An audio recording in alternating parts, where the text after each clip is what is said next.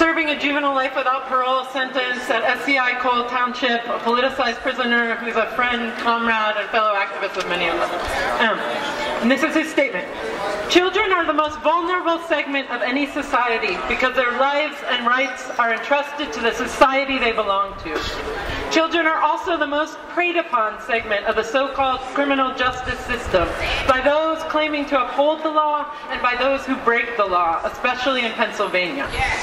In Pennsylvania, there are more prisoners serving life without parole sentences for crimes they committed or participated in as child offenders than in any other state in the United States. According, according to Human Rights Watch and the Pennsylvania DOC statistics, the number has well exceeded 400.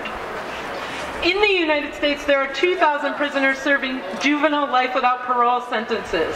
Well, in all the other countries of the world, there are, do you know how many? There are zero in all of the other countries of the world. Consider the absurdity of that for a moment.